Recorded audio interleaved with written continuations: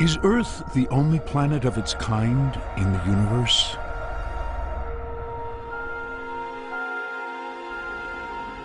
Or is there somewhere else, like this, out there? Is there life beyond Earth?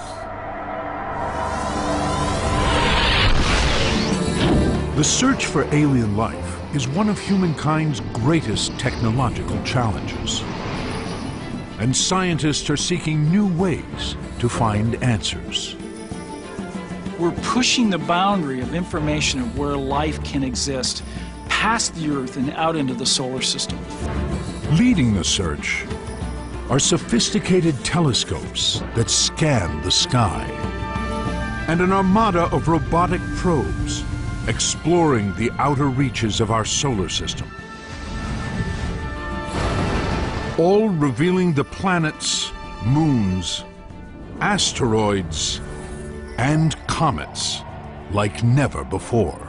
We can go places and see things that there's no other way we could have ever seen. The search reveals evidence of strange and unexpected worlds. Places with lakes, storms, and rain. Violent places driven by powerful forces deep underground. Worlds that may have hidden oceans hundreds of millions of miles from the heat of the sun. The pace of discovery just in the last couple years is just mind-boggling. New missions are helping to unlock the mysteries of what makes a planet habitable, raising the question of whether the building blocks of life are more prevalent than previously imagined. Not just in our own solar system, but possibly throughout our galaxy. We now have, for the first time in human history, definite planets out there among the stars that remind us of home. Finding life beyond Earth. Up now on Nova.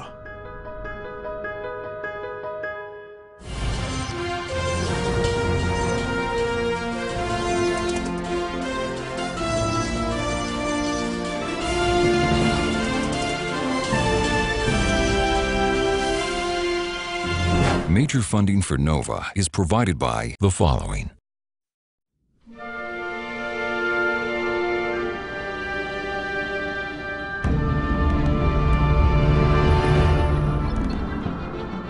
After a seven-year, two billion mile voyage, the spacecraft Cassini enters orbit around Saturn. Cassini heads towards the largest of Saturn's 62 moons. Titan. Bigger than the planet Mercury, Titan is hidden by a thick orange haze. No one has ever seen its surface. But a small probe named Huygens, released by Cassini, is about to change everything. This mission will challenge long-held notions of where life could exist beyond Earth. These are the actual images Huygens takes as it breaks through the clouds and haze. Titan is a land of mountains and valleys, a place that looks surprisingly like Earth.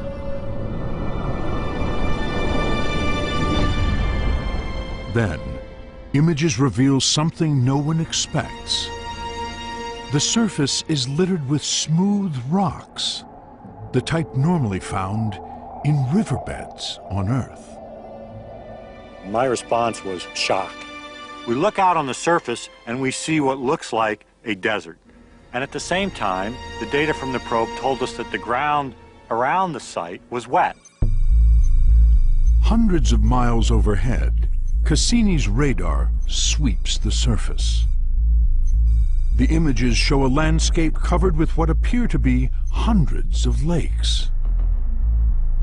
This one covers an area of 6,000 square miles, about the size of Lake Ontario, one of the Great Lakes.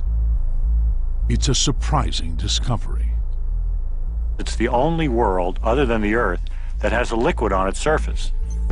But what exactly is this liquid?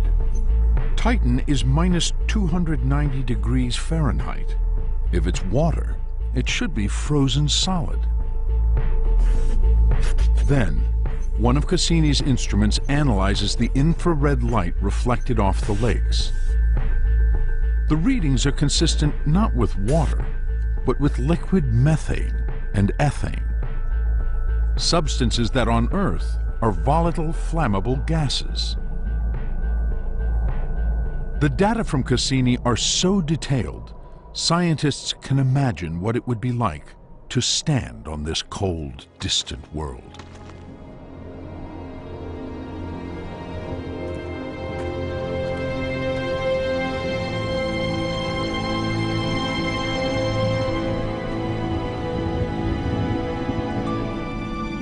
Standing on the surface of Titan, you see Saturn just sitting there in the sky. A big, huge, stationary object, almost like a door to another dimension.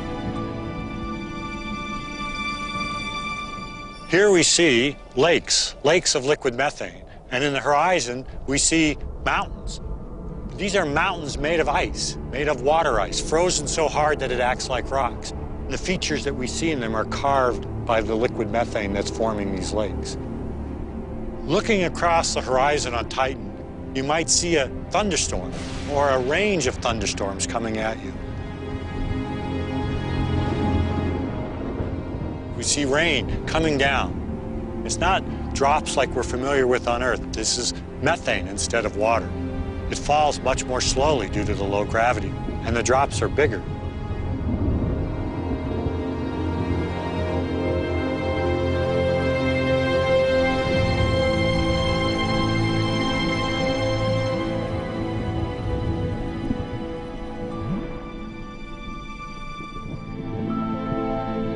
So what are the implications of finding a liquid flowing on Titan's surface for a scientist like Chris McKay? Liquids seem to be the key to life, so maybe there's life in that liquid on Titan. Little things swimming in liquid methane being quite happy at these low cold temperatures. There's no evidence that living things like microbes exist in these lakes. But if such evidence were found here, it would fundamentally change perceptions about life beyond Earth.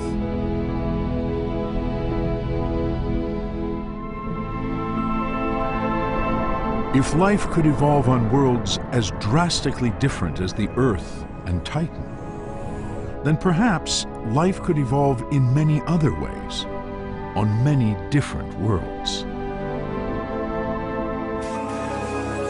NASA's Director of Planetary Science is Jim Green. One of the questions that we all want to know, I think deep down inside, is are we alone? I mean, that's really fundamental.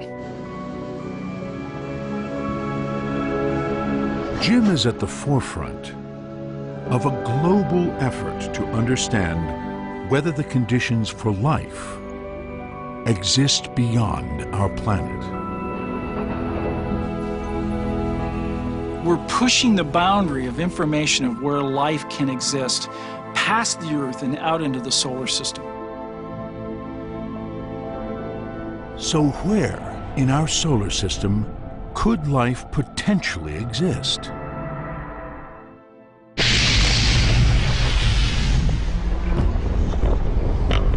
Heading out from the Sun, the first planet is Mercury. It's an extremely hostile environment.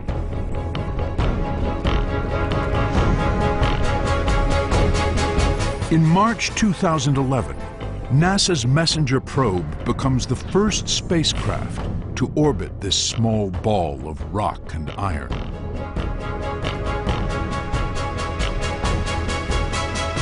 These are some of the first images sent back.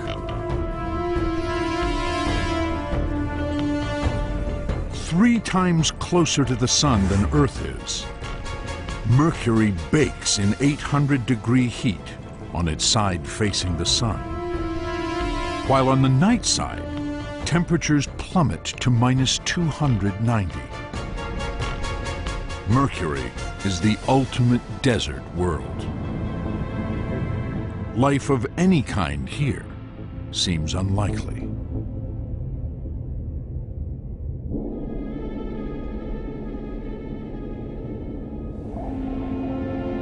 Mercury's closest neighbor, Venus, is almost as hostile. Though nearly twice as far from the Sun, temperatures here exceed 880 degrees.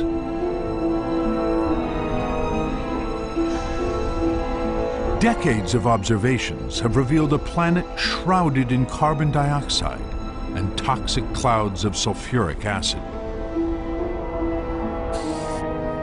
These radar images reveal thousands of ancient volcanoes on a surface hot enough to melt lead. And with an atmospheric pressure that is 90 times greater than on Earth. It is hard to imagine that anything could live down here. But based on chemical analysis of the atmosphere, scientists believe that water once flowed on Venus's surface. If life ever did exist here, evidence has yet to be found. So what is it about Earth, the third planet out from the Sun, that makes life possible? The answer lies in three key ingredients. First, all life is made up of organic molecules, consisting of carbon, in compounds that include nitrogen, hydrogen, and oxygen, among others. Although organic molecules aren't alive themselves, they are the basic building blocks of every living organism. Life also needs a liquid, like water. In water, the basic organic molecules can mix, interact, and become more complex. The last ingredient is an energy source, like the sun, to power the chemical reactions that drive all life, from the smallest microbe to us.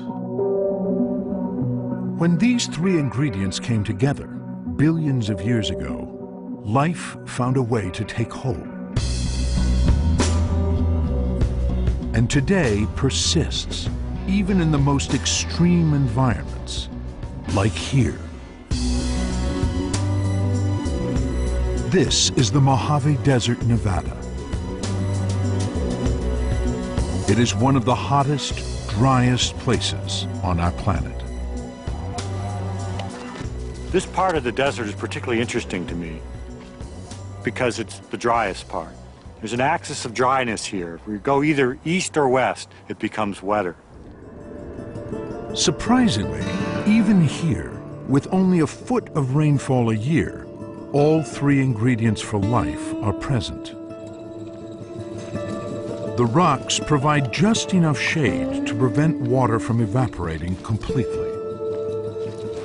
Underneath the white rocks, we can find the most amazing thing. We see this layer of green. This is bacteria. The rock provides a little shelter. It's a little wetter and a little nicer living under the rock than it is in the soil around it. In addition, the white rocks are translucent. Hold them up to the sun and see light coming through. These organisms are photosynthesizing here in the desert where nothing else will grow. So they're, they're living in a miniature little greenhouse. This place shows that even in some of Earth's most extreme environments, under the right conditions, life has a chance. For scientists like Chris McKay, the question is, is Earth the only planet with the essential conditions for life? One way to know is to investigate how planets like ours formed to have these ingredients in the first place. That story starts 4.6 billion years ago with the birth of our solar system. As a vast cloud of dust and gas collapses in on itself, pressures increase, temperatures at the center rise to millions of degrees, until energy from the early sun blasts away some of the cloud. This lights up the young solar system, revealing the beginnings of planets. The mystery has always been how did this spinning cloud of dust become the massive planets we see today? How does one go from microscopic grains to golf ball size things? And how do golf ball size things go from there to 10 meter size things? And how do those go to planetary embryos? And there's a lot of steps in there we don't quite understand. Many scientists believe the answers are hidden in asteroids. The oldest rocks in the solar system, leftover debris from its earliest days. In 2003, the Japanese probe Hayabusa sets out on an audacious mission. The goal? To land on an asteroid, collect samples of dust, and then return them to Earth. The target is asteroid Itokawa. A third of a mile long and speeding through space at 56,000 miles per hour. Landing on it would be like trying to hit a speeding bullet with another speeding bullet.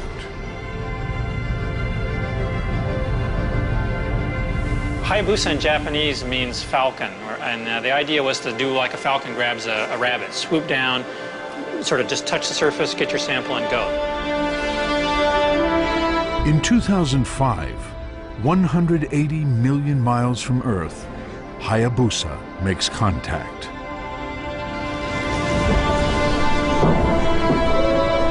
It stays just long enough to grab a sample. It will take five years before Hayabusa returns asteroid dust to Earth.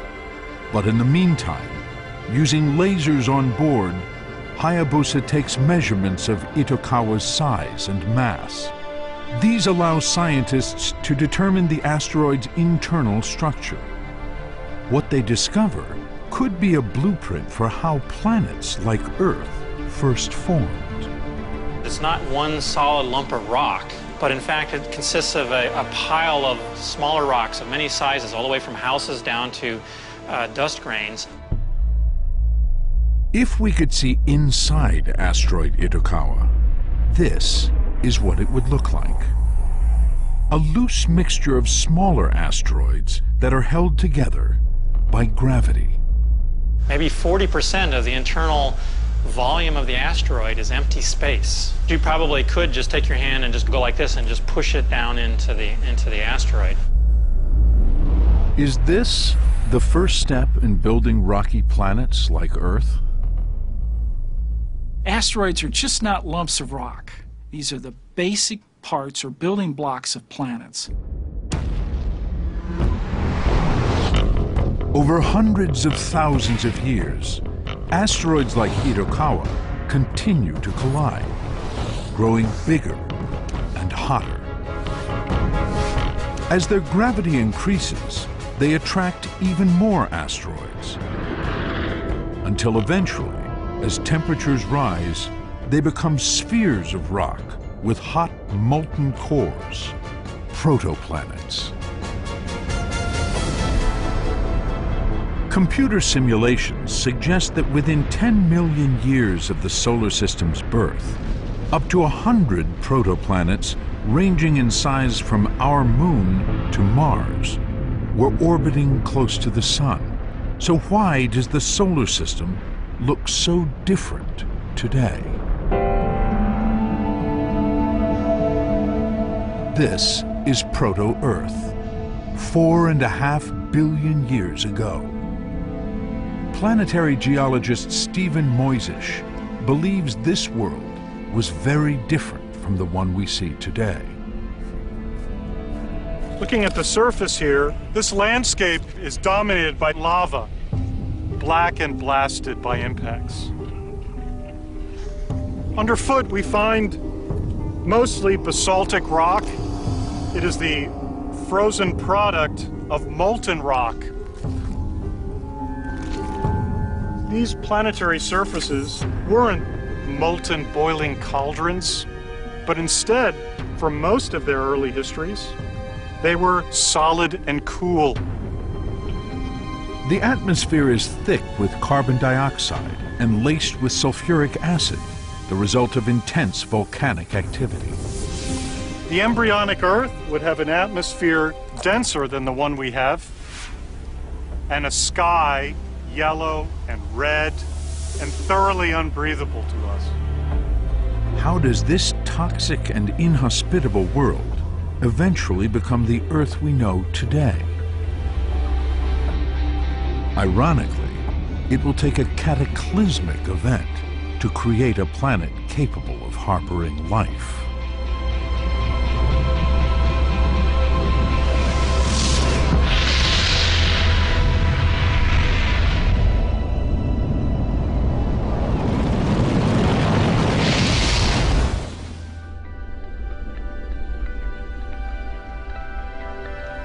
Protoplanet the size of Mars slams into early Earth.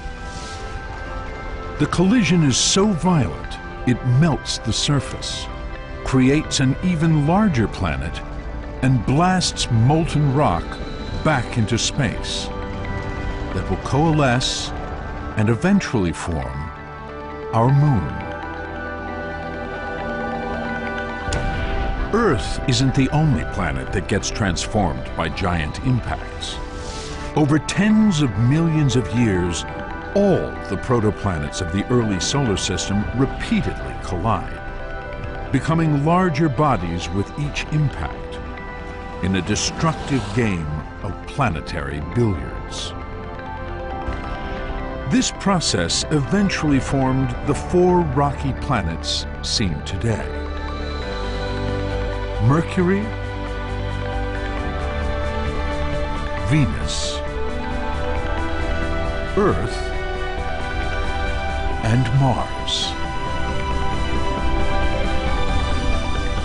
And so the final planets that we have today are really the ones that won the competition, and that some planets were literally destroyed or thrown out of the solar system, and others survived to be here today. Sarah Stewart is a planetary scientist.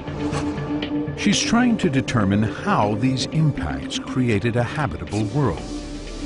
There's some magic set of conditions that has to occur in a solar system to give you an Earth-like planet. Figuring out what happens when a massive planet the size of Mars hits Earth is no small feat. It requires smashing things together at extremely high velocities. We want to simulate what happens when materials strike the Earth at very high speeds. What we can do in the lab is study little pieces of the process. And using the information we gather from many experiments, we build computer models that try and recreate the whole event. This requires a special piece of hardware, a 20-foot cannon that uses an explosive charge to fire projectiles at up to 6,000 miles per hour. At the other end is a pressure chamber and the target, representing a planet like Earth, wired up with precision sensors. We have a 40 millimeter gun that launches 100 gram bullets into rocks or ices, and we study what happens as that shock wave travels through the material. The gun is set to fire.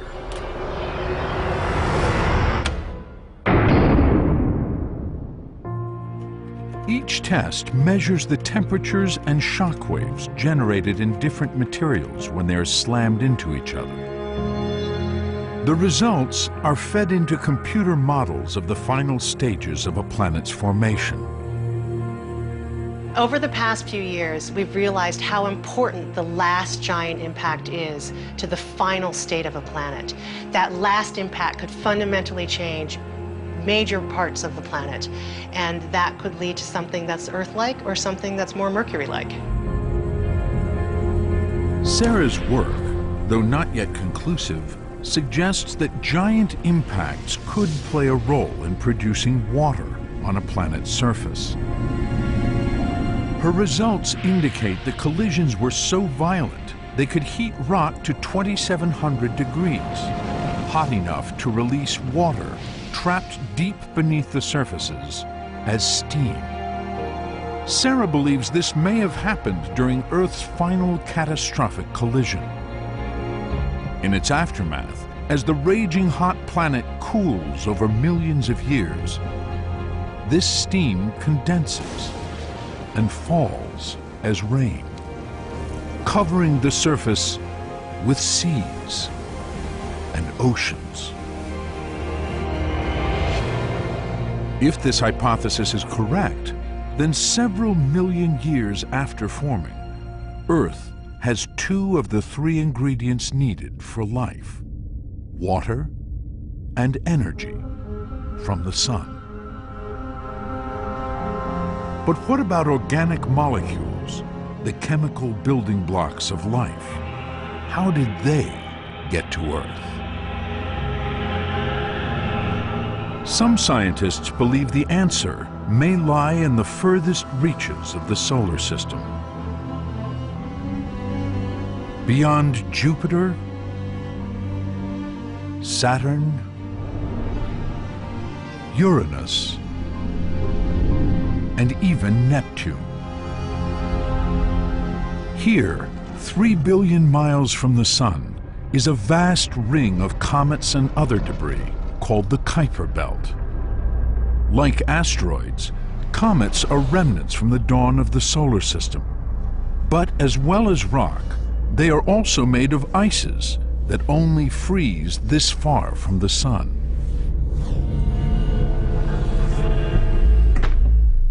Astrobiologist Danny Glavin and his team think comets are the key to understanding how the final ingredients necessary for life arrived on Earth.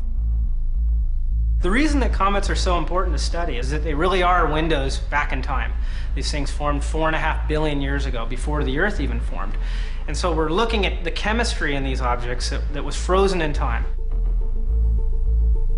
But analyzing actual comet material when the closest sample is more than 3 billion miles away is a major challenge. Fortunately, icy comets occasionally fly in closer to Earth. As they approach the Sun, comets warm up and the ice starts to vaporize, spitting out tiny particles of ice and dust. So when you're looking at a comet in the sky, what you're actually seeing is, is predominantly the tail. You don't see that tiny rocky ice nucleus because it's being dominated by the sublimation of ices and rocks. So you see that long tail and the solar wind, which is just dragging it for millions of miles behind. Zero. Liftoff of the Stardust spacecraft. A Delta II rocket blasts into space. On board is the probe Stardust. On through Mach 1. Tempo looks very good, burning nicely. The aim, to meet up with a comet speeding through space at nearly 60,000 miles per hour, then fly through the ice and dust and bring some of it back to Earth. 240 million miles from Earth, Stardust approaches the comet named Wild 2. It heads to the heart of the comet and takes these images of its solid, icy nucleus. The surface is broken and jagged. And shooting out of it are jets of dust and ice particles.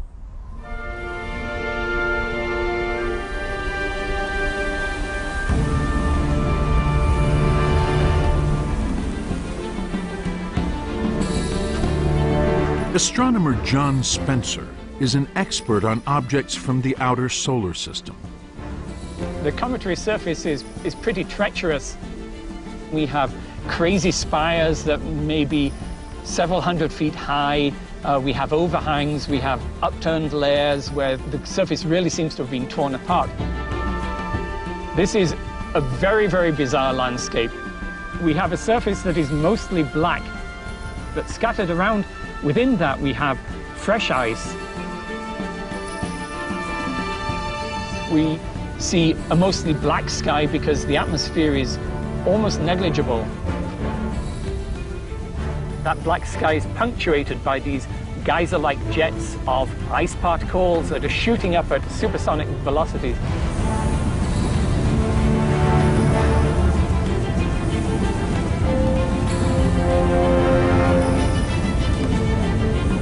These icy geysers bombard stardust.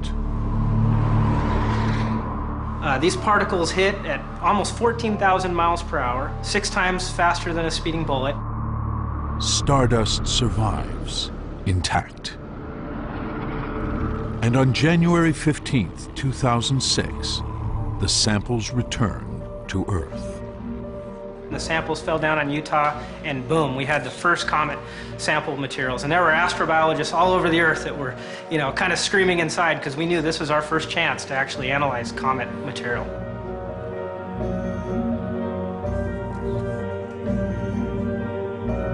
Inside, scientists discover over 1,000 grains of comet dust. Glavin and his team analyze this material for three years. Then, they make an incredible discovery.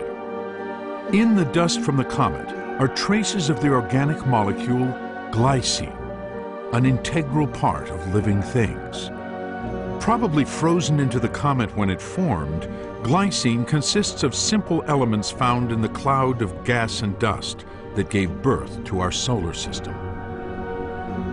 Now, glycine is an amino acid. It's a, one of the building blocks for life. These make life go. They, they make up proteins and enzymes. They catalyze all the reactions in our bodies. They're fundamental to life. Without these, we could not exist at all. All life on Earth, from these bacteria to us, uses amino acids. Glycine is special because it's the most common of the 20 amino acids needed to make proteins, part of the very fabric of life. The discovery means that comets could have been one source of the organic materials necessary for life on Earth. We proved that, in fact, comets could have delivered the raw ingredients to, of life to the early Earth. But what could cause comets to fly in from the furthest edges of the solar system, slam into Earth, and deliver these organic compounds? The clues to one possible process lie back out in the Kuiper Belt, the disk of icy objects that orbits the Sun at the edge of our solar system.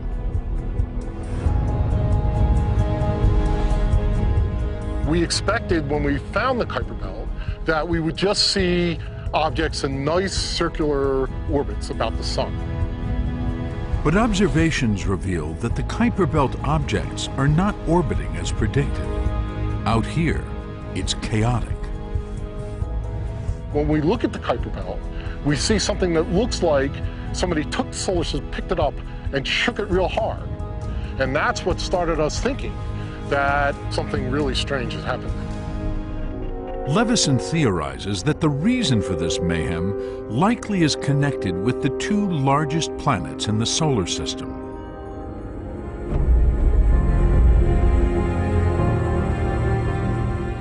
Jupiter is so big it could swallow more than 1,300 Earths.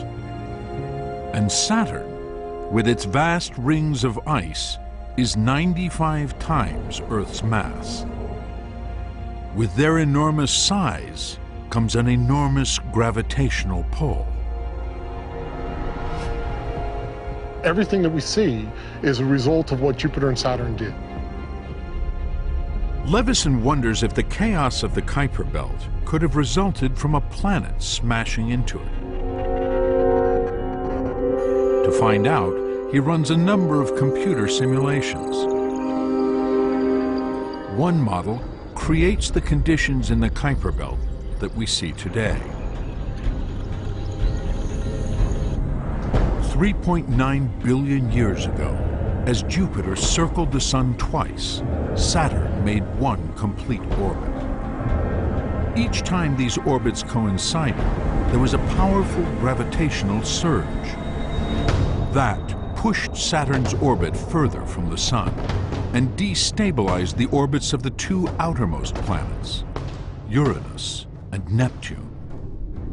Jupiter and Saturn sort of tugged each other, and that drove the orbits of Uranus and Neptune absolutely nuts.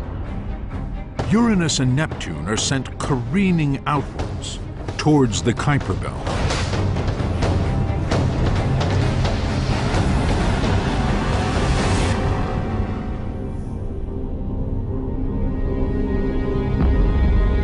Comets ranging in size from a mile across to objects the size of Pluto are blasted out of their orbits by the planetary invasion.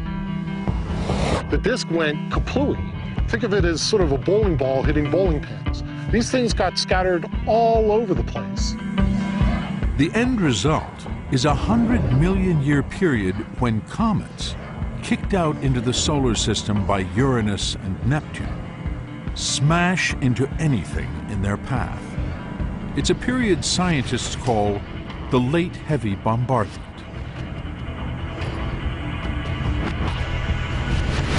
Earth doesn't escape.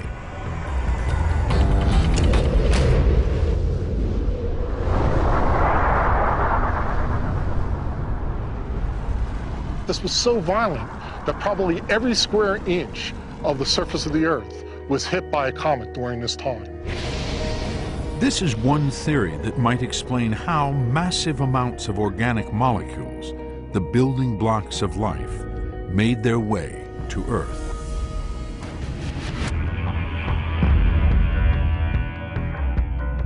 Possible evidence of the late heavy bombardment can be seen on the surface of other planets and moons in the solar system. Impact craters.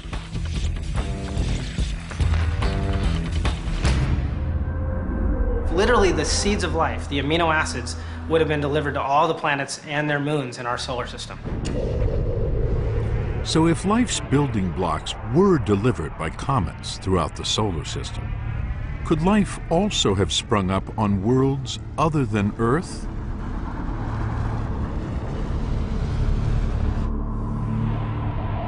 It is unlikely that living organisms exist today on Venus or Mercury, as space probes have found no evidence on these planets of the other vital ingredient life needs, liquid water.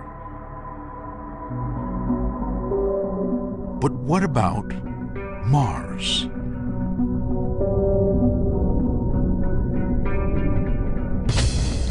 Organic compounds have yet to be found here, but scientists are searching the planet for the other preconditions of life. There have been many missions to Mars, and nearly all suggest that water once flowed on the surface. These detailed images from satellites orbiting Mars reveal vast canyons blasted out by epic floods and valleys carved by raging rivers. But the evidence indicates that all this water disappeared from the surface billions of years ago as Mars cooled down and lost its atmosphere. But on May 25, 2008, a spacecraft called Phoenix touches down near Mars' North Pole. Digging a few inches down, it exposes a white material that vaporizes after a few days. Soil analysis reveals it is water ice. We landed 68 degrees north. Poof, just a few centimeters below the ground, there was a layer of ice. Satellites analyze radar waves bouncing back from both polar caps. They reveal that beneath a layer of frozen carbon dioxide, there is a lot of water ice. If it all melted, it would cover the whole planet in an ocean more than 80 feet deep. When we look at Mars, And we see the reservoirs of water there. It's completely surprised us in terms of the amount of water and how much water is actually trapped underground. The same satellites orbiting Mars are discovering that buried ice is also widespread beneath the desert floors. When we look at Mars, we see what looks like a desert world with no water. But in fact, Mars has lots of water. It's ice. Mars is an ice cube covered with a layer of dirt. But this doesn't mean that finding life here is imminent. Ice doesn't melt the same way on Mars as it does on Earth. The atmospheric pressure here is 150 times lower than ours. It's impossible for water to exist as a liquid at the surface. Ice on Mars behaves like dry ice does on Earth A piece of dry ice on Earth goes directly from the solid ice to vapor. It doesn't form a liquid. That's why we call it dry ice. On Mars, the pressure is so low that water ice does the same thing. No liquid water on the surface of Mars today means that vital chemical reactions cannot take place. It seems impossible that life could exist there. But could it exist in the buried ice itself? An expedition to one of the coldest places on Earth is looking to answer that question. These are the dry valleys of the Antarctic, one of the world's most extreme deserts. Here, beneath a layer of dry dirt, is buried ice similar to Mars. If life can exist here, could it exist on Mars too? We're doing in the Antarctic exactly what we want to do on Mars. We drill down into this Mars-like soil, we collect Mars-like ice, and we look for what we hope are Mars-like microorganisms. At the point where the dirt meets the ice, the team discovers a thin film of liquid water.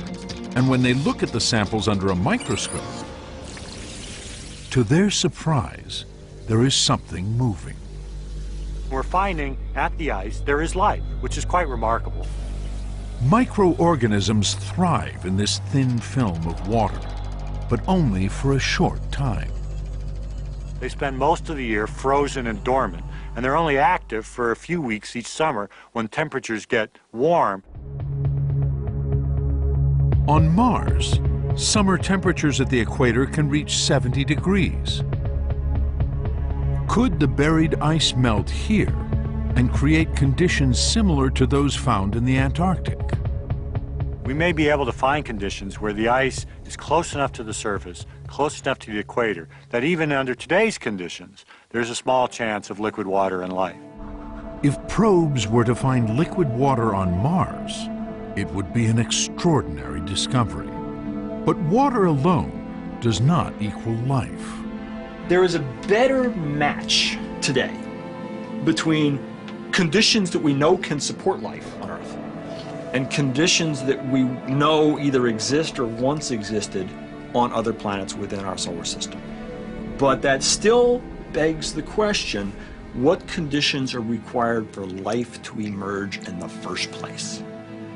How does this process of genesis, life emerging from non-living material, take place? Are the conditions that once existed on Mars adequate for that? We don't know. We simply don't know. So how could scientists find out if life is possible below Mars' surface?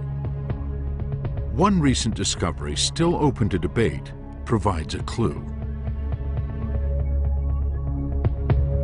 Measuring wavelengths of infrared light, a NASA telescope on Earth detects something mysterious in Mars' atmosphere. Evidence of methane gas. It's an intriguing find. Some methane gas on Earth is produced by geological activity, like mud volcanoes. But most of the methane found in our atmosphere is a waste product generated by microorganisms. Methane has a very interesting connection to life in many ways. It could be a product of life. It could be something that life has made, evidence of life. Well, the discovery of methane was really one of the fabulous discoveries that have come out just in the last several years. New observations by the Keck telescope suggest that certain areas on Mars are releasing thousands of tons of methane gas every year.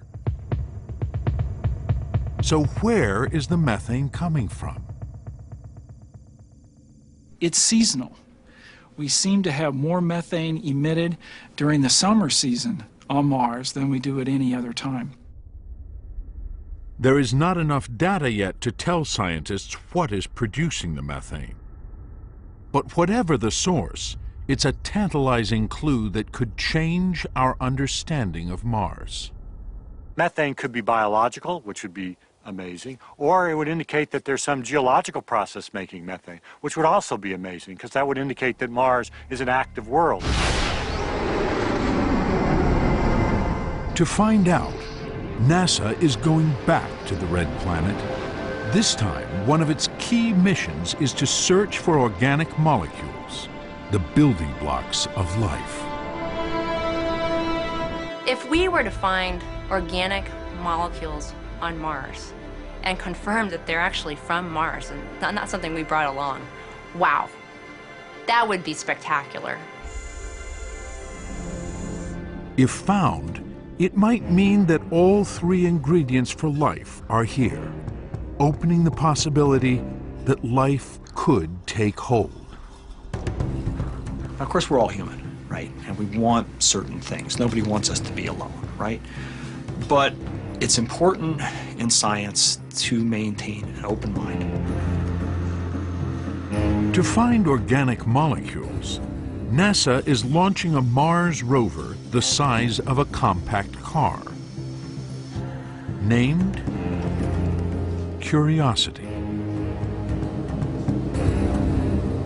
Curiosity will be our first great chance, I believe, to look for life on Mars. Curiosity holds the most advanced set of science instruments yet sent to the planet. It will zap, grind, and bake Martian rocks and use spectroscopic analysis to reveal if the samples contain any of the chemical ingredients for life. It is not just a geologist, it's an astrobiologist. It can look at rocks and everything else around it in ways that we've never looked at the material before. Even with an advanced set of instruments, finding organic molecules will still be a challenge. It's going to be a tricky problem. There are lots of processes that can destroy organic molecules. Radiation from space can destroy them. Oxidizing compounds in the Martian atmosphere can destroy them. So you're looking for organic molecules that have somehow been protected from the Martian environment for a while. And the bar is set even higher because curiosity will search for specific organic compounds that are the product of living things.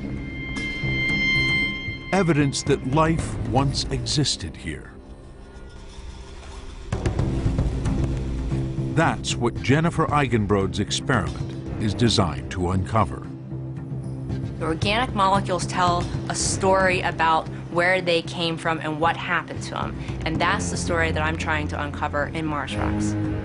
That experiment may very well change our impression of Mars as a lifeless body and change it to uh, harboring life. If curiosity turns up any evidence that life once existed on Mars, it will have enormous implications.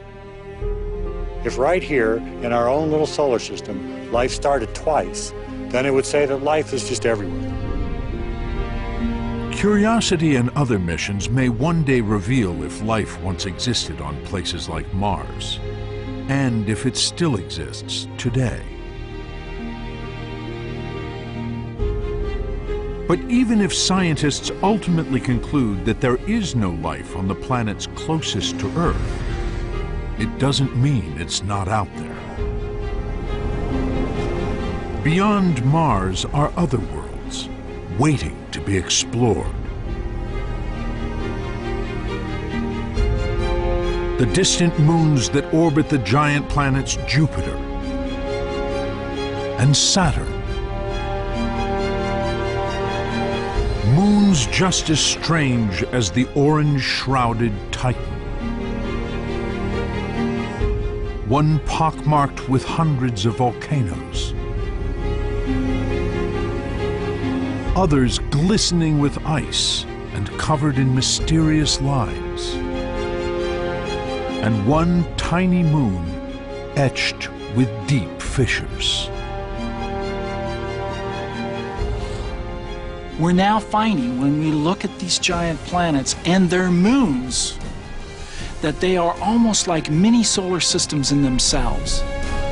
Probes are making discoveries on these moons that are changing our understanding of where life can exist. They're finding evidence of new sources of energy. Hidden oceans of liquid water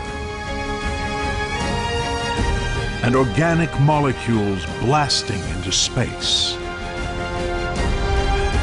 And far beyond these worlds, scientists are exploring entire new solar systems around other stars.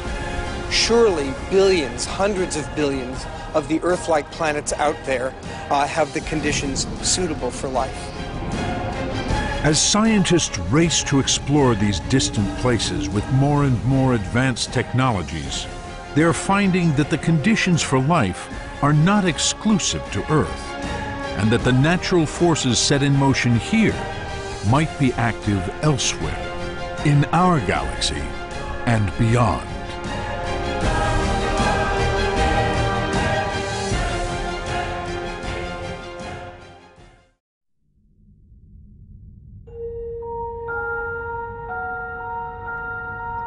Are we alone in the universe?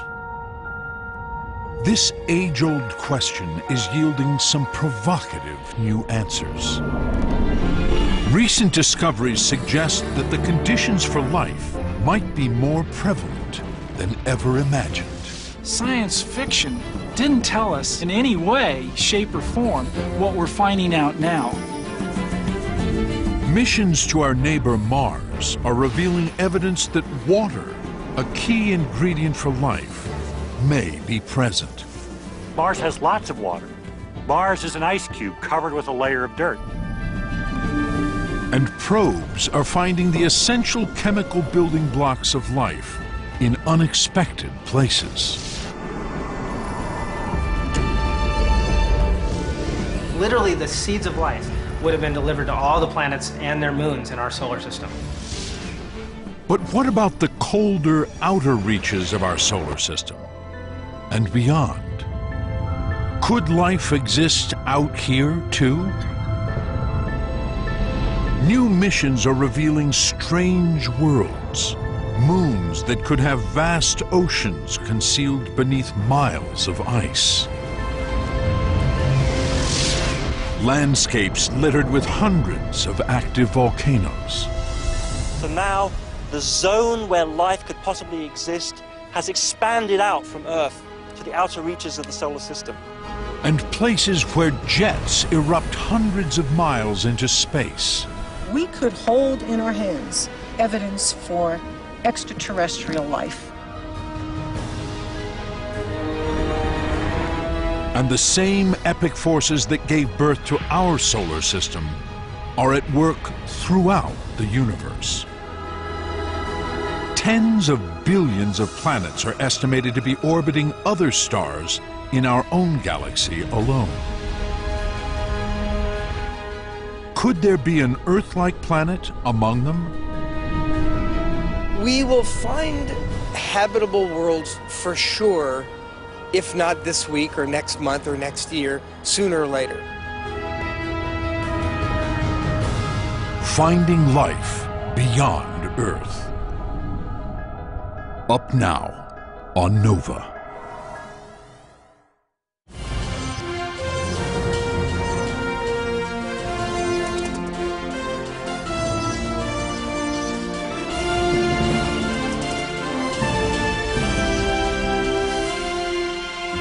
Major funding for NOVA is provided by the following.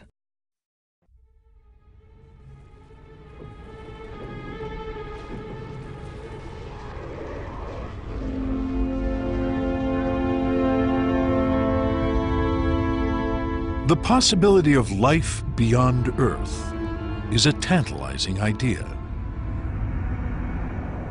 Long prompting our species to wonder if there are other worlds where life exists.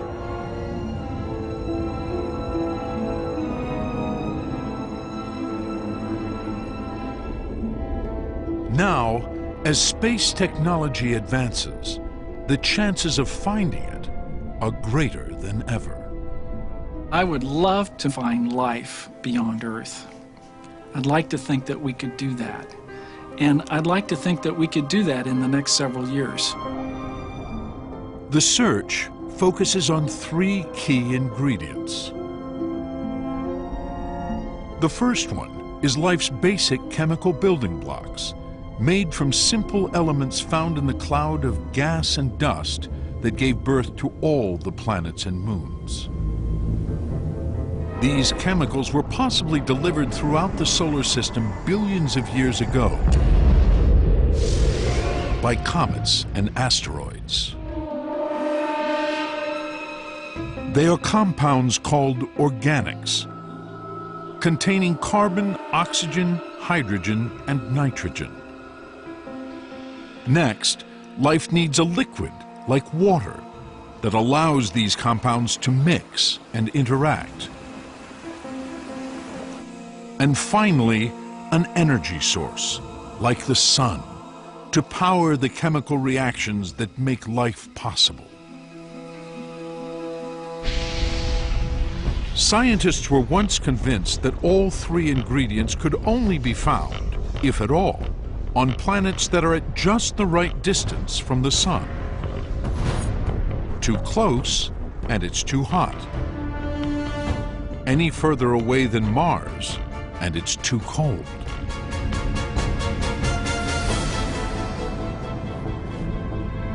But now, missions to the outer solar system are calling this assumption into question. This is Jupiter, as seen by the space probe Voyager 1, launched decades ago to explore the outer solar system. Half a billion miles from the Sun, it seems unlikely that life could exist out here in such extreme cold.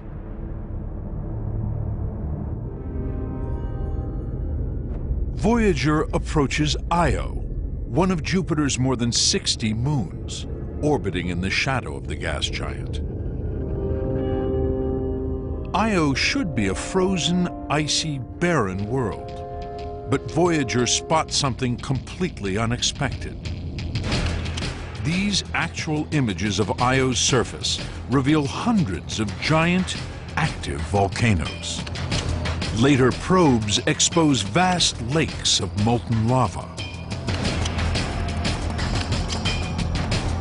On Earth, volcanic activity is driven by heat in the interior.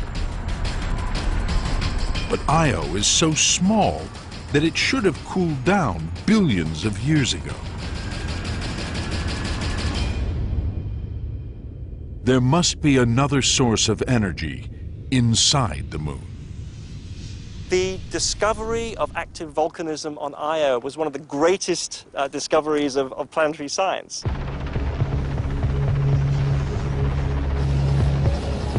By observing Earth's volcanoes and studying the huge amount of data gathered from Io, Ashley Davies pictures what walking on Io's surface would be like.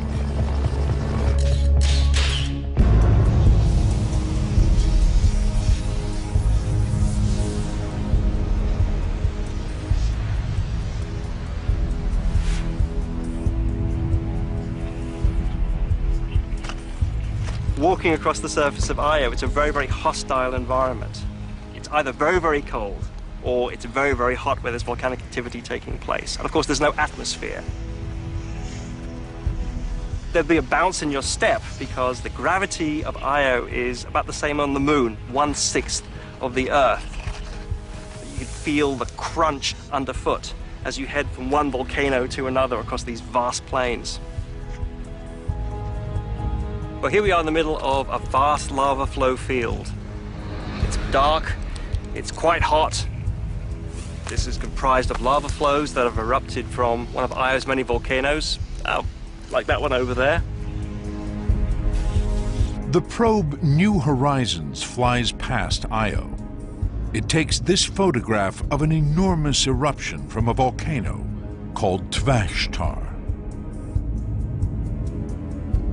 A vast plume of sulfur shoots 200 miles into space. These actual images reveal the plume as it spreads out and rains back to the surface. On Io, we see these large volcanic eruptions. The gases that are coming out of the lava blast this material high into space, into the vacuum of space. It's very, very spectacular.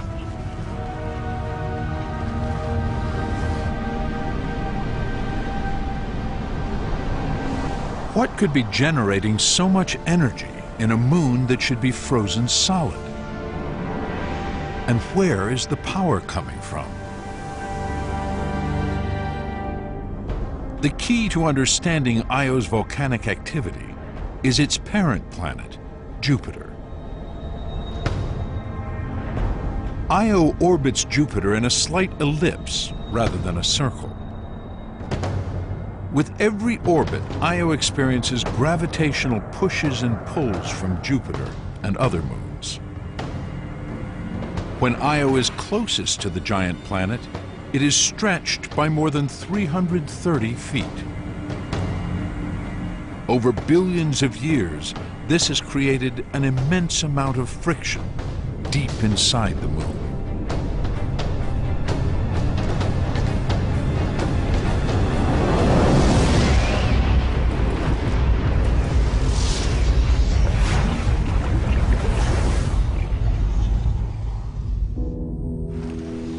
This continual flexing of the satellite is like bending a piece of metal. It heats up. And this is the ultimate source of Io's volcanic energy and its volcanic heart. The powerful tidal force generated by the massive gravitational pull of Jupiter creates an alternate source of energy far from the warmth of the sun. A source of energy that could, in principle, support life. What's so important about Io is that it, it moves our perceptions away from a habitable zone around the sun where energy is just derived completely from the sun. So now the zone where life could possibly exist has expanded out from Earth to the outer reaches of the solar system. But the chances of life existing on Io itself are slim. Even though it has an energy source and could have the right chemical building blocks, possibly delivered by comets and asteroids billions of years ago, scientists have not yet detected the third key ingredient, a liquid like water. But Io is not the only moon circling Jupiter. NASA's unmanned space probe Galileo flies by the next moon out, Europa. It passed by Europa 12 times, and only 12 times. Virtually everything we know about Europa is from those 12 passes, and each and every one of them has excited us beyond belief. Slightly smaller than our own moon, Europa is covered with ice. Data collected by Galileo shows that the surface is minus 260 degrees Fahrenheit surely hostile to life. But as the probe gets closer, it takes these images. A mysterious network of dark cracks is etched into Europa's icy surface. We see places where very clearly the ice has cracked and two sides have spread apart. Material has come up and frozen in the middle to fill the gap. In addition to the dark cracks, the probe also reveals vast, jagged areas of ice that appear to have melted, broken apart, and frozen back together again. There's something very dramatic happening to destroy the existing surface there. To an expert eye, it's a familiar pattern. Sea ice found on Earth looks very similar. Then, Galileo takes readings of Europa's magnetic field. These indicate an electric current flowing inside, consistent with an ocean of salty liquid water.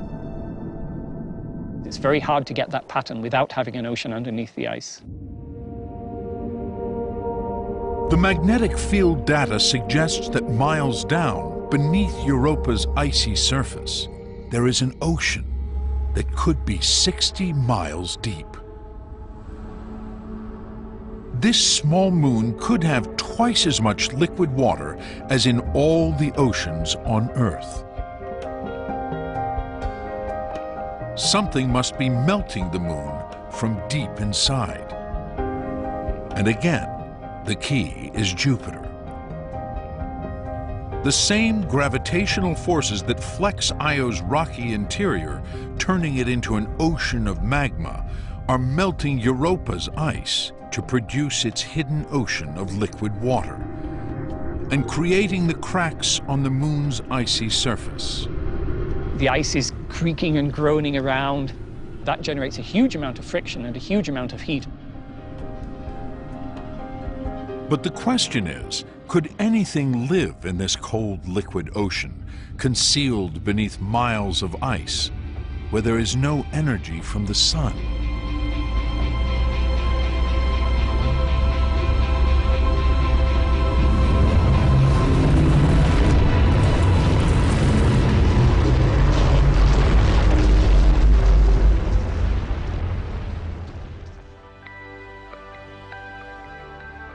To find out, biologist Tim Shank explores the oceans here on Earth that most resemble Europa's icy depths.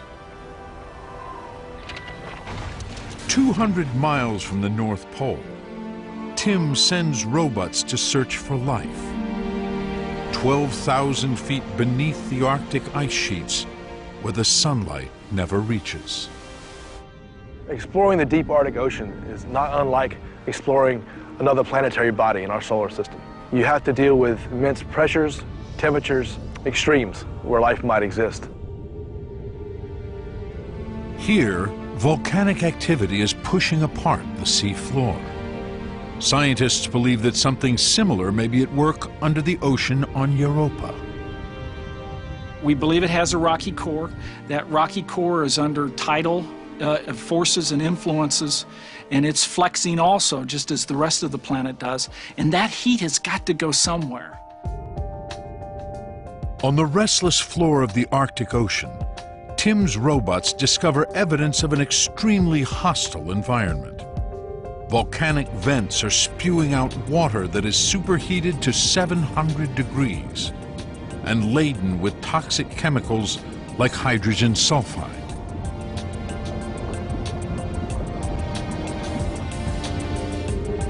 Tim believes that vents like this could also exist on Europa's ocean floors. And clustered around the vents in pitch darkness, Tim's team finds life.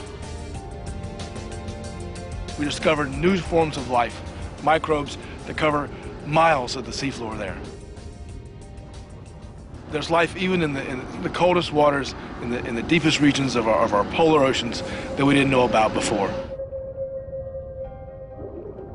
Instead of using sunlight to trigger vital reactions, microbes like these use sulfur, hydrogen, and methane as chemical sources of energy. And the microbes form the basis of an extensive food chain. The discovery of life here raises the possibility of life on Europa. It's clear to me that the basic components, the basic elements, the chemical elements that we need for life are on Europa. There's nothing that I can think of, no component that's missing from the European Ocean. I, I would be surprised if we didn't find life there, really. With liquid water, an energy source, and the necessary chemical building blocks perhaps delivered by comets and asteroids, Europa opens up the possibility that life could exist in places never imagined.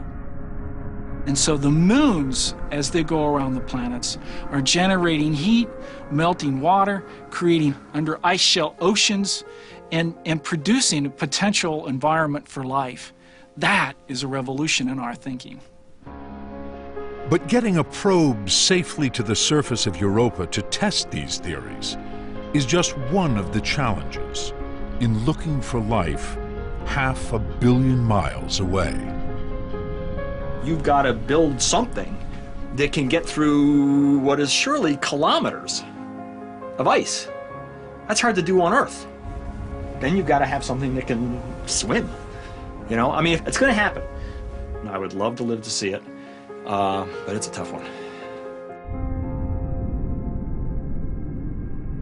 Europa isn't the only intriguing place this far out in the solar system. Could similar conditions exist on other moons, orbiting other planets, even further away from the Sun? One mission launched to find out is the probe Cassini.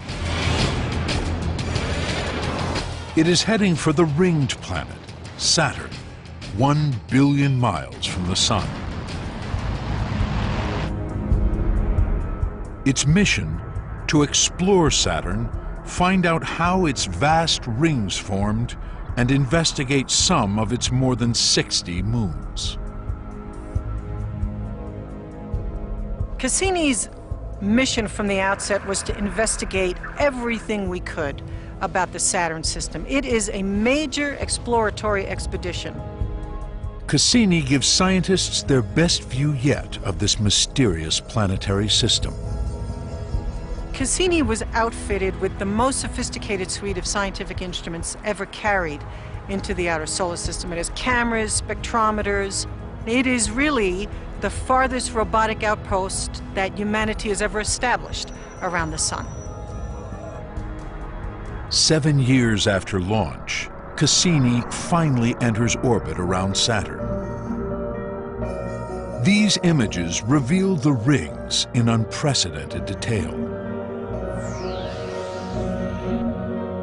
They stretch out across hundreds of thousands of miles, yet in places they are just tens of feet thick.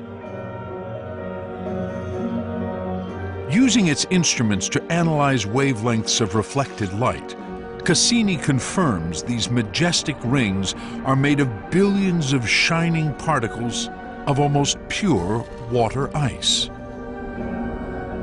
They range in size from a grain of dust to the size of a mountain. After nearly eight months collecting data of Saturn and its rings, Cassini makes its way to one of the closer moons.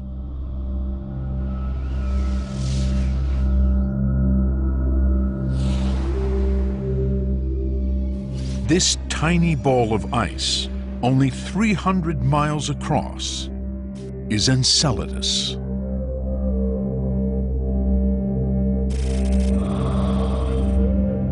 These Cassini images reveal a glistening white surface, unlike any other of Saturn's moons. It is carved with crevasses, ridges, and cracks. And stretching out across the South Pole, Cassini photographs these strange large cracks seen here in blue four parallel fissures scientists named the Tiger Stripes. They are 75 miles long and hundreds of feet deep. They look a lot like fault lines on Earth. Enceladus was a major focus for the Cassini mission. It was clear that there had been something going on on Enceladus in the past. The question was, was there anything going on on Enceladus at present? On another flyby, Cassini's thermal imaging sensors reveal something unexpected. At the South Pole, the tiger stripe should be colder than the rest of the moon, but they are radiating heat. Though still a frigid minus 120 degrees, the cracks are more than 200 degrees warmer than most of the moon. Then, as Cassini changes its orientation, it sees Enceladus, silhouetted by the sun. And vast jets of ice erupting into space.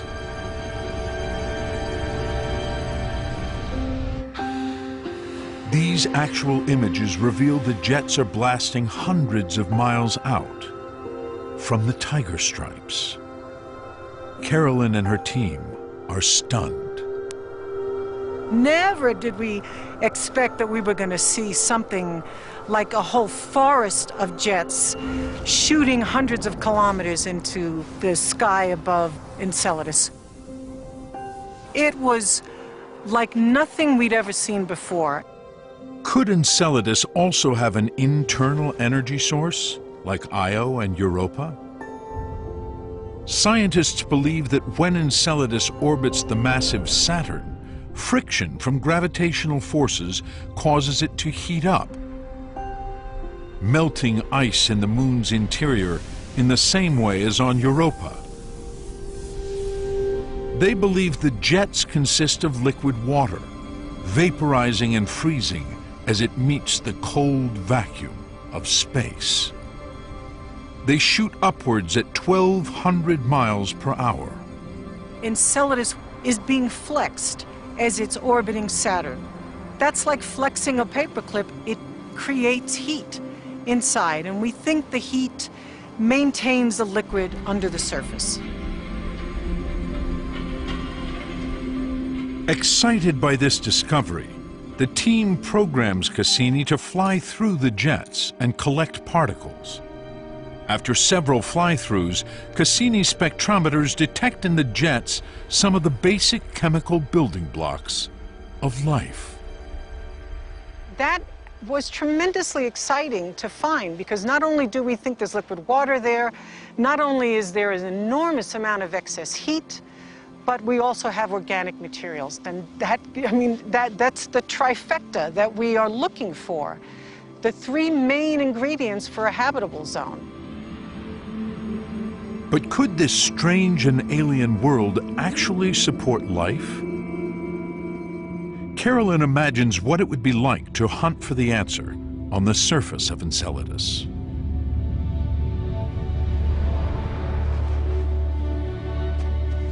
Walking on the surface of Enceladus, as you approach the tiger stripe fractures, you would first encounter a region that is continually blanketed in snow. The sky is inky black. Walking is like floating, has very little gravity. If we have the sun at our back, we wouldn't see anything. But if we put ourselves in the right geometry, looking in the direction of the sun, then suddenly we see something that I think would be the greatest spectacle this solar system has to offer. Giant ghostly fountains shooting skyward, fine sparkly icy crystals, most of which eventually fall back down and coat the surface in a blanket of snow. If we are correct, that the jets of Enceladus derive from pockets of liquid water in which life might have gotten started. A scoop full of Enceladin snow might, just might, contain the remains of microscopic living organisms.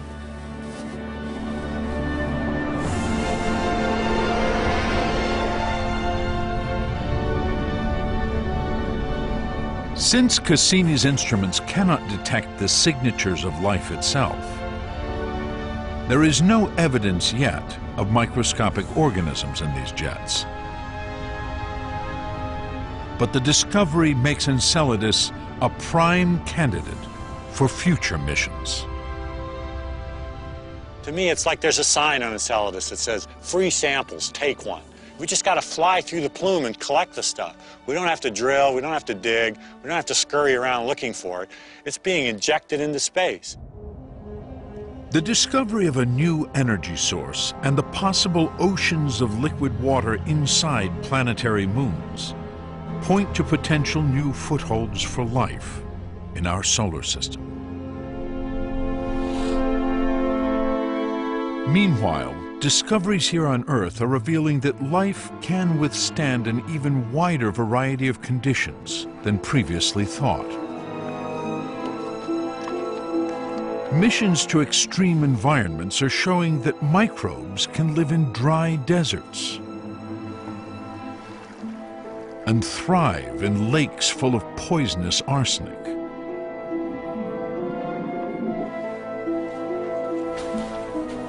Bacteria survive in slimy colonies on cave walls dripping with sulfuric acid, living off noxious hydrogen sulfide gas.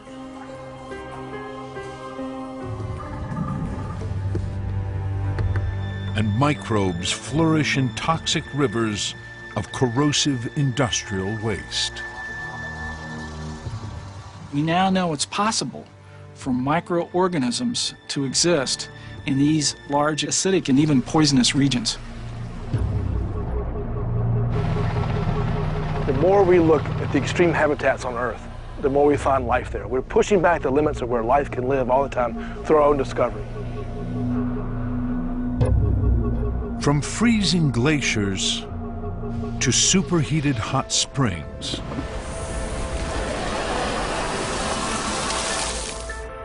from high deserts blasted by ultraviolet radiation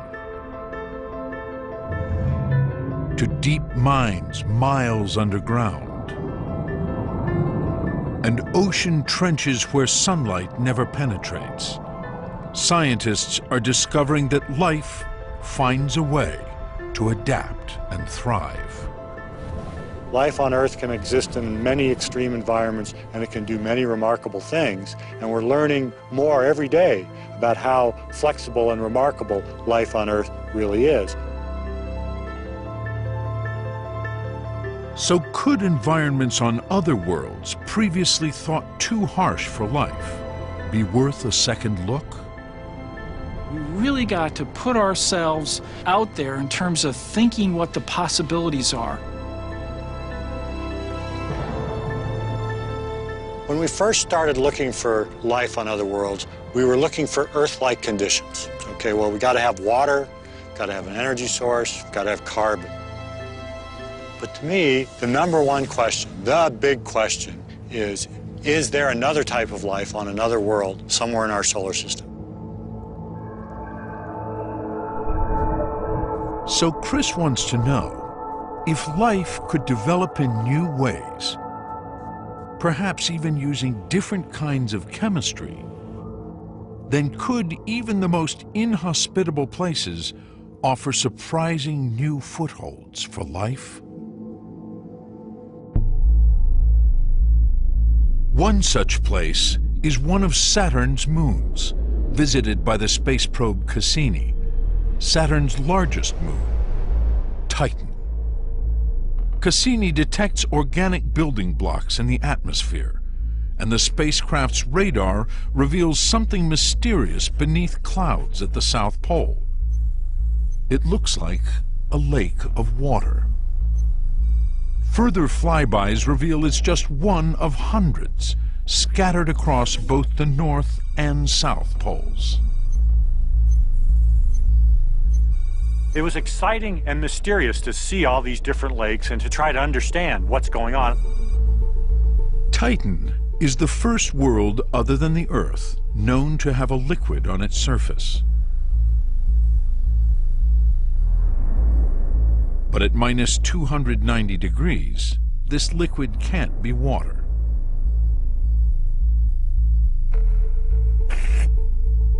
Analysis of infrared light reflected off the lakes reveals that they are filled with super-chilled liquid methane and ethane. On Earth, these hydrocarbons are gases we use as fuel. Data now reveals that methane on Titan carves river valleys, forms clouds, and even falls as rain. Liquid methane acts a lot like water on Earth.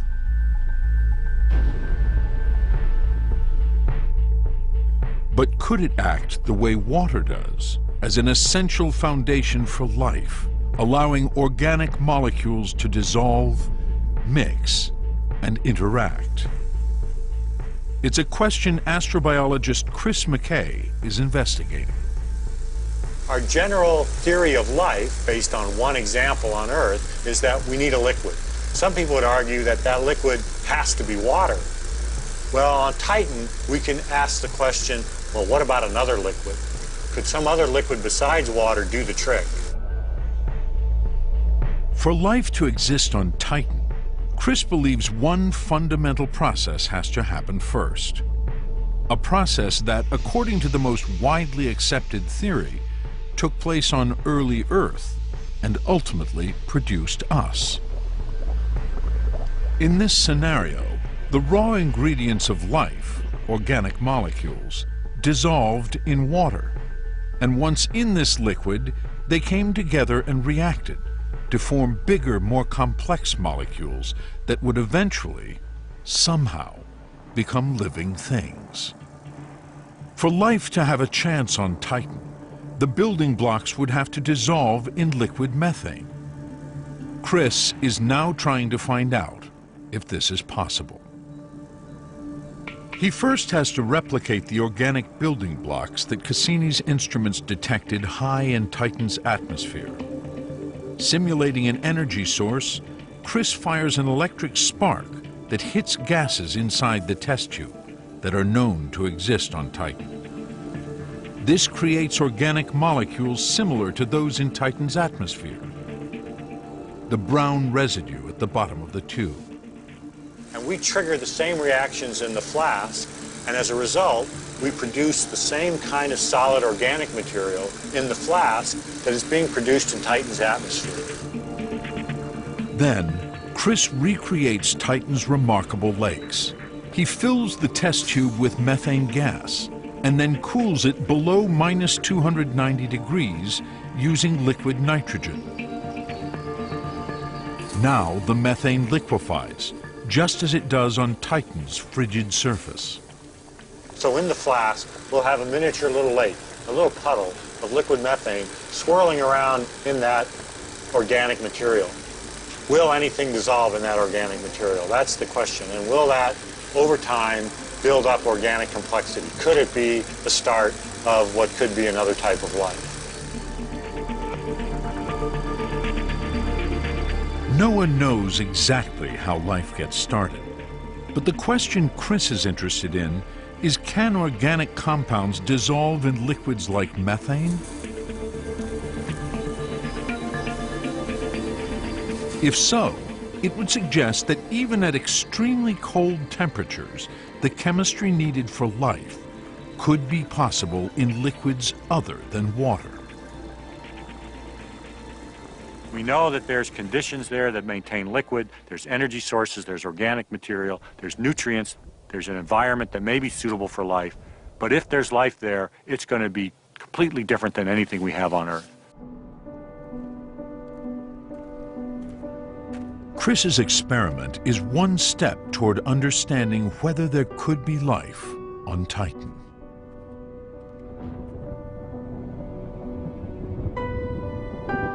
To me, the most exciting possibility is that there's life on Titan, because then that would show not just that life started twice, but it started twice in very different conditions. It would show us that life is a natural process that's going to pop up on many different worlds, many different planets around many different stars.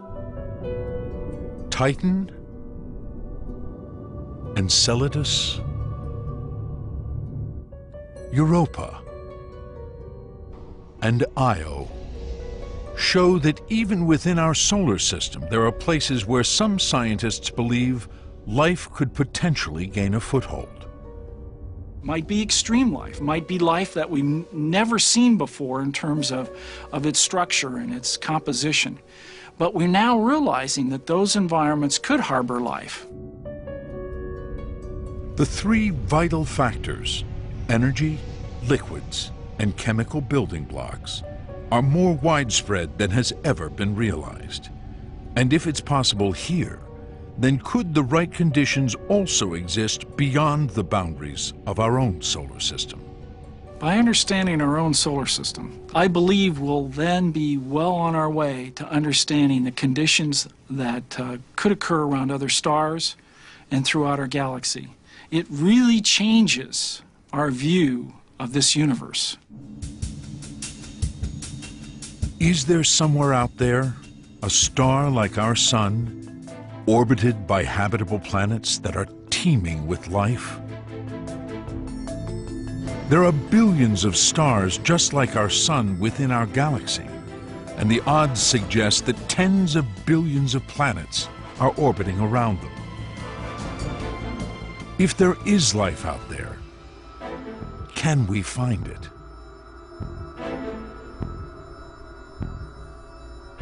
Astronomer Mario Livio is at the forefront of the search.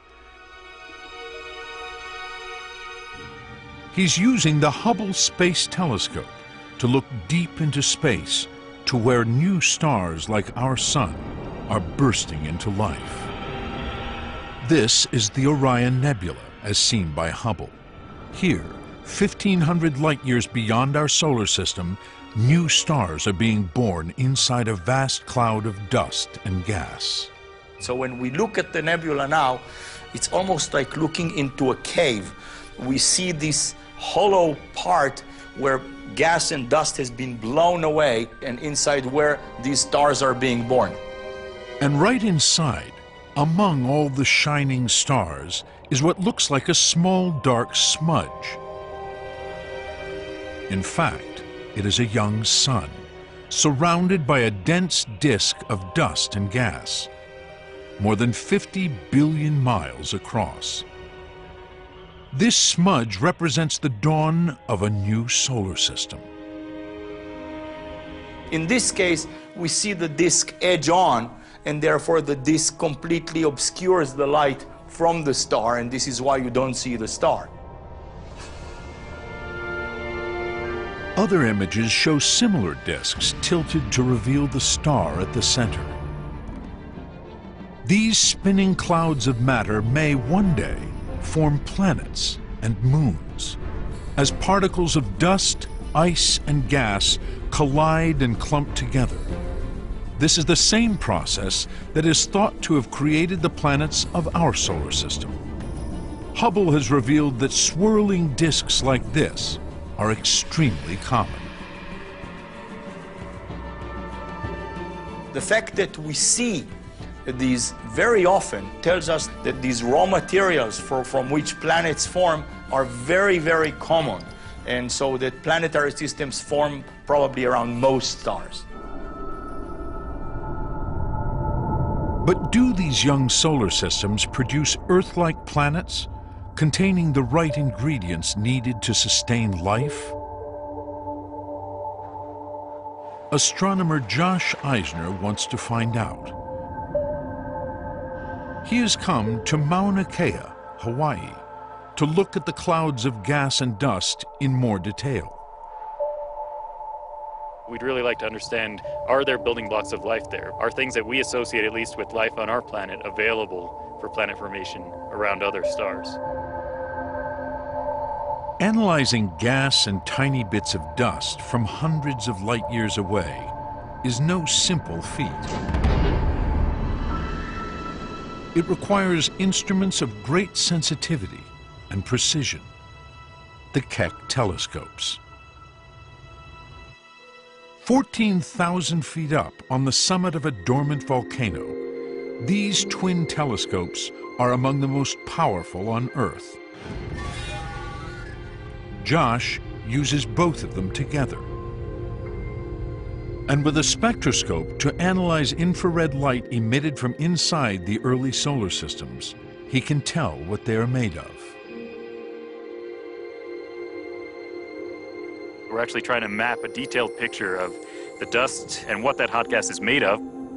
Is there water vapor there that might get incorporated into an atmosphere one day or into an ocean one day? His findings are encouraging.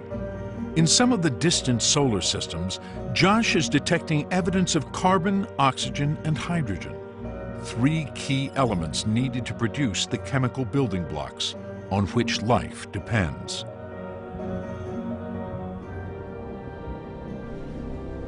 Even more intriguing is that in some disks, those ingredients also appear to be at the right distance from their stars to form planets with Earth-like qualities.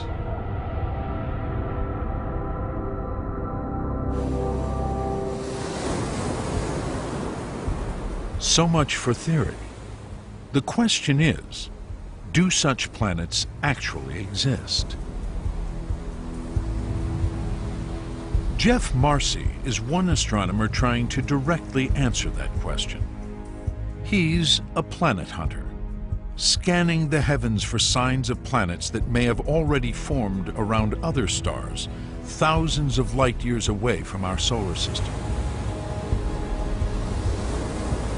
It is actually quite a challenge to find planets around other stars, and the reason is very simple.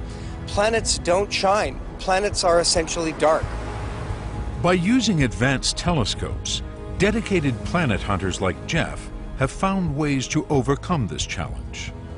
If you watch a star, it ought to have the same brightness all the time, 24 7. But if there's a planet orbiting that star, when the planet crosses in front of the star, the planet will block a little of the starlight and you'll see the star dim a tiny amount every time the planet crosses in front, over and over in a repeated way.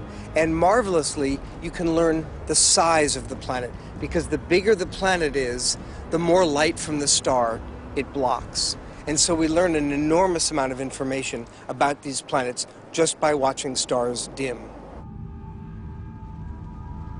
Not surprisingly, most of the planets astronomers have found this way are giant ones that block a lot of starlight.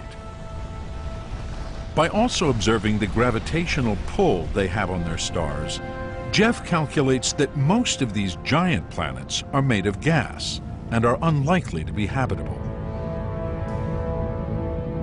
But the holy grail is to find far smaller, rocky worlds, like Earth, where the conditions for life could exist.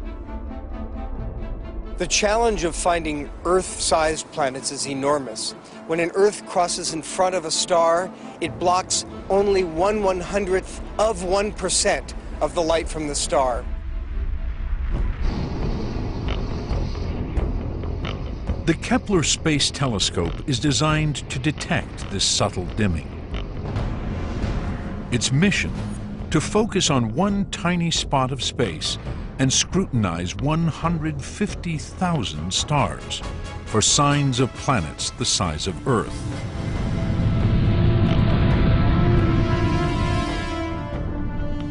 Sensitive enough to detect minute dips in a star's light, Kepler is already producing mountains of data. And thousands of new planet candidates are being discovered. Kepler has now already discovered a few planets that have a diameter and a mass that indicates clearly the planet is rocky. And so we now have, for the first time in human history, definite planets out there among the stars that remind us of home. These first rocky planets are too close to their stars to sustain life. But the sheer number of smaller planets being found is transforming our view of solar systems beyond our own. We've learned that nature makes some large planets the size of Jupiter and Saturn, but nature makes even more of the smaller planets the size of Neptune, and even more of the planets the size of the Earth. The number of planets is sort of like the, the rocks and, and uh, pebbles you see on a beach. There are a few big boulders. There are many more rocks. And there are an uncountable number of grains of sand that represent the Earth-sized planets we see in the cosmos. Geoff believes it's only a matter of time before we find a habitable planet. I suspect that this scene we see here is one that's reproduced billions of times over among the Earth-like planets, the habitable planets in our Milky Way galaxy. But even if we find a world just the right size and in just the right place with oceans of liquid water, could we detect life from a distance of trillions of miles? The James Webb Space Telescope may be able to do just that. Due to go into orbit later this decade, this new telescope is three times more powerful than Hubble. It will be able to analyze starlight passing through the atmospheres of the closest Earth-like worlds, looking for the telltale signs of life itself. I think the chances are very good that if you find a planet with oxygen, methane, carbon dioxide, nitrogen, like our own Earth, there's probably plant life on that planet that is producing the oxygen. As telescopes see farther and spacecraft voyage closer to distant worlds, new discoveries are transforming what we thought we knew about our solar system and our galaxy. I am constantly awestruck by the data that's coming in our current fleet of missions.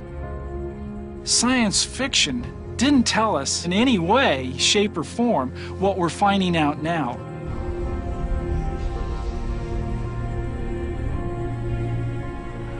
Years from now, people are going to look back on this as being the golden age of exploration of the solar system you can only go someplace for the first time once, right? And we're doing that now. Scientists are finding organic molecules, the raw ingredients that life needs to take hold in our solar system and beyond. I think we'd be naive to think that this chemistry and life here on Earth is the only place that that's happening in the universe. I mean, the fact is we've got billions of galaxies, you know, trillions of star forming environments that probably have the same chemistry going on. The right conditions that make a world habitable could be more widespread than ever imagined. All of this leads us to think that life should be an easy start on another world. And the same forces of nature that forged life here could be playing out elsewhere in our galaxy. Lovely exercise for everyone to do is to look up into the night sky, look at the twinkling lights, and realize that those stars, by and large, all have planets. And that's just our galaxy. There are hundreds of billions of galaxies out there, like our Milky Way, and so the number of planets in our universe is a truly uncountable number. So the race is now on to see if life actually exists beyond Earth. Will life first be discovered on a moon such as Enceladus? Will it be found by an advanced telescope? Or will it be found at all? Whatever the answer, many believe this is a turning point in history when we at last have the technology and the know-how to find out if there is life beyond Earth.